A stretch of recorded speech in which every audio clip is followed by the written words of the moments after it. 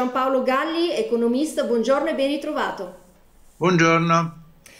Uh, dopo questa impennata di casi Covid abbiamo visto anche uh, nuove misure introdotte uh, dal governo Conte. A questo punto rimangano accurati i dati e le stime della, della Nadef che sono estremamente importanti anche per gli investitori?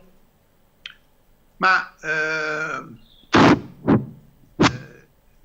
in qualche modo questi provvedimenti hanno preso un pochettino gli italiani di sorpresa. Eh, si vedeva il peggioramento nei giorni scorsi, il peggioramento della situazione, ma non ci si immaginava che ci sarebbe stato un uh, provvedimenti così drastici e che il peggioramento fosse valutato come così tanto uh, grave. Eh, per cui ho l'impressione che più che i provvedimenti, il, il, coprifuoco, la notte, eccetera, quello che farà effetto è la paura. Eh, la gente rimarrà di più in casa, peraltro è invitata a rimanere in casa ehm, e quindi temo che il, eh, la previsione per il, anche per il 2020 eh, potrebbe essere peggiore del meno 9% proiettato dal governo e diventa molto difficile pensare al più 6% del 2021, che tra l'altro sconta un più 10 nella NADEF, nel documento programmatico di bilancio, un più 10 6 che francamente sono un po' difficili da vedere perché sono imprese molto preoccupanti, un più 9,6 di export che è un tasso di incremento maggiore di quello che il Fondo monetario prevede per il World Trade, commercio mondiale, che è 8%. Uh, eh, tutto questo sembra un pochettino difficile alla luce di questa nuova data che riguarda noi anche gli altri paesi europei almeno.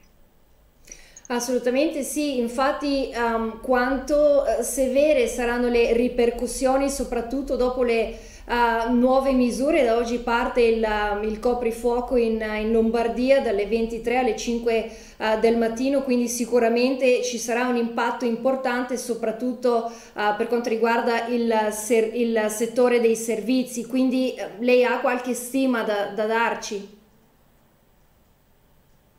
ma eh, adesso io non ho rifatto i conti alla luce del nuovo scenario e francamente mi sembra molto difficile farlo adesso.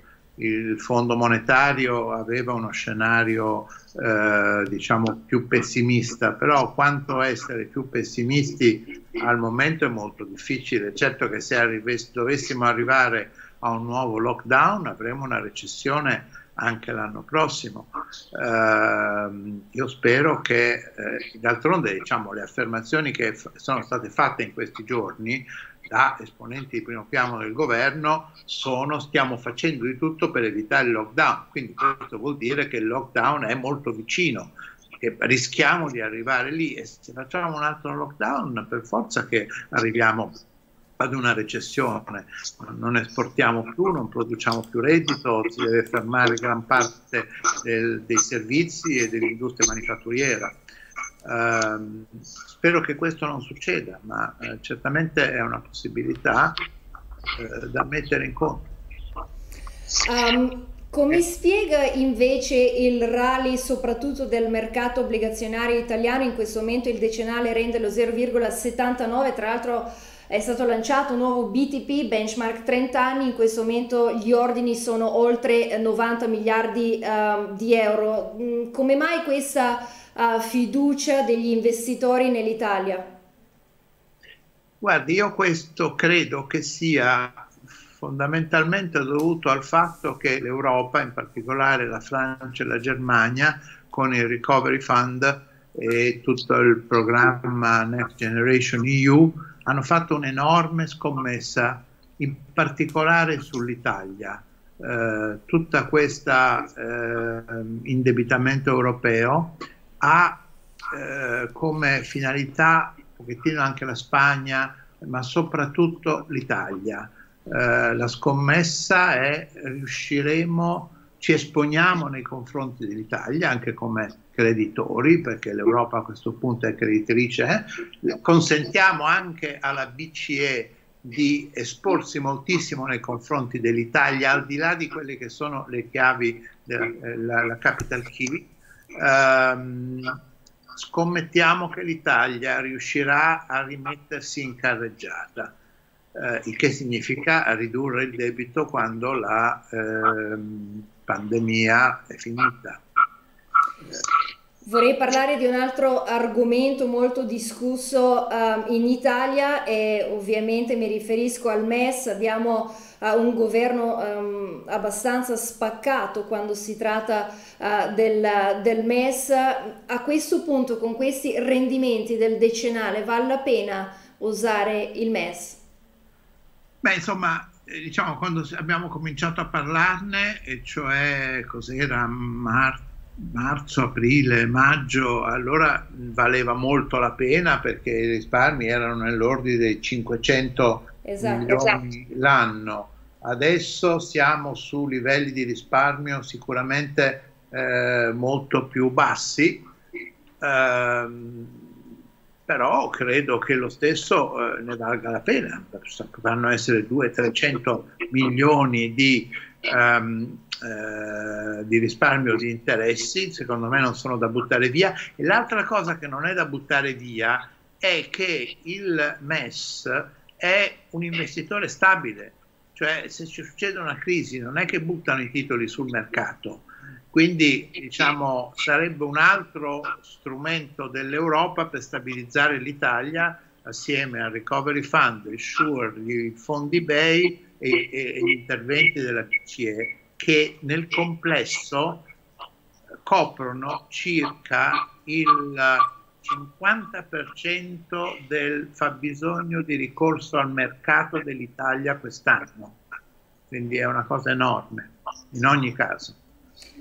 Quindi secondo lei il mancato utilizzo del MES quest'estate, eh, quando ovviamente tutti i virologi prevedevano una seconda ondata uh, di Covid a partire eh, da settembre un'occasione sprecata perché a questo punto potevamo avere più eh, ecco, una sanità, un sistema sanitario eh, più rafforzato e non solo, soprattutto più posti letto uh, Covid in modo tale da evitare un secondo lockdown che a questo punto non sembra uh, ecco, un'idea proprio uh, impossibile.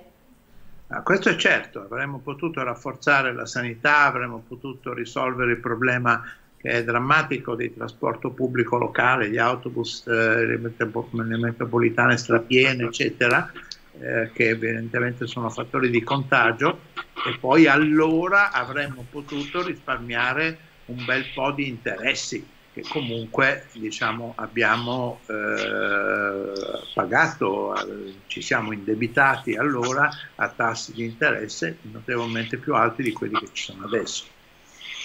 Lei ha menzionato il, il Recovery Fund, mm, sotto questo punto di vista lei è uh, fiduciosa dell'arrivo dei fondi, ovviamente dei prestiti dall'Unione Europea in, con un timing abbastanza sufficiente? Ma io credo che i problemi con il Parlamento Europeo, con i paesi frugali, con i paesi di Visegrad, non sono problemi seri, non devono essere sottovalutati, soprattutto i problemi dei paesi di Visegrad, i quali dicono ma perché dobbiamo dare tutti questi soldi all'Italia quando noi siamo molto più poveri dell'Italia. Quindi questo è un argomento molto serio, a fronte del quale ci sono argomenti drammaticamente delicati che riguardano la Polonia e l'Ungheria, ma con cioè le libertà e le, le garanzie costituzionali.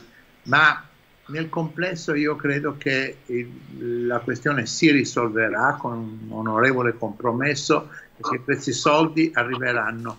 La vera cosa complicata è come l'Italia sarà in grado di spenderli, perché fino adesso non ha dimostrato di saper spendere bene i soldi europei, neanche quelli italiani, per gli investimenti. Ecco, invece abbiamo visto i bond Sure che eh, tra l'altro ci sono state richieste boom per 233 miliardi uh, di euro. Qual è la sua valutazione uh, questo, di questo passo um, storico, senz'altro perché solo magari sei mesi fa era impensabile. Ma è molto positivo, l'Europa decide di indebitarsi. Naturalmente per ora questo è un indebitamento una tantum, però tenete conto che se poi viene rinnovato sul mercato eh, quando scadono i titoli, questo diventa quasi, può diventare un uh, debito semipermanente. Una volta che hai un debito devi però anche pensare a istituzioni per gestire uh, un bilancio comune di dimensioni ben più grandi di quelle che eh, abbiamo conosciuto fino adesso 1%, 1,1% del PIL e quindi si pongono, giustamente la Germania pone un problema di accountability democratica. Dice non, non, vogliamo rinnovare questo debito, fare un debito europeo permanente perché non ci sono le istituzioni democratiche dietro questa cosa qui. Io spero che si possa fare un salto nel senso di dare eh, legittimità democratica a questo debito e a questo bilancio comune. In settimana invece Standard Poor's deciderà il rating um, su Italia.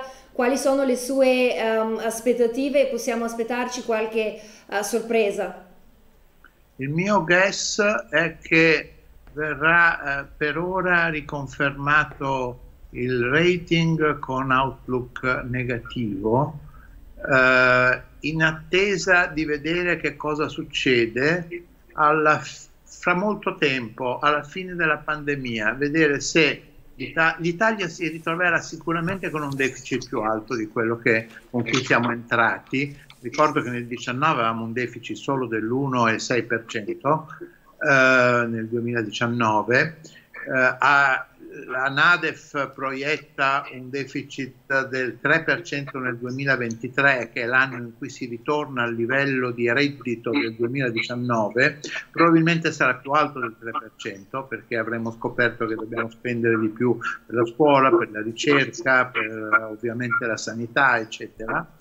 E quindi la sfida di ridurre il deficit, il debito è una sfida particolarmente difficile quello avverrà nel momento in cui la BCE probabilmente e tutte le banche centrali mondiali ricominceranno a normalizzare la politica monetaria, quindi aumentare un po' i tassi e lì sarà il momento critico. Non credo che sia questo venerdì o Secondo lei, parlando ecco, della BCE, quando possiamo aspettarci una normalizzazione della politica monetaria perché eh, in questo momento um, sembra quasi uh, impossibile almeno nel medio termine. Ma guardi, per ora non c'è nessun segno di inflazione, anzi la pandemia ha addirittura generato qualche segnale di riduzione del livello dei prezzi, quindi di deflazione. Uh, c'è chi dice che l'enorme quantità di liquidità che è stata immessa nel sistema eh, economico da parte delle banche centrali con il QE, prima o poi si scaricherà sull'economia e genererà, genererà inflazione. La mia impressione è che ci sono buoni motivi per cui questa liquidità in realtà si è trasformata tutta in riserve bancarie, quindi è stata ridepositata presso la BCE o tramite le banche centrali nazionali. Um, non credo che quindi ci sia questo rischio almeno nel breve termine, fino a quando non ci sarà una ripresa molto forte dell'economia, che francamente non è in vista. Grazie mille a Giampaolo Galli, economista, grazie mille per essere stato con noi e buon pomeriggio. Grazie a voi.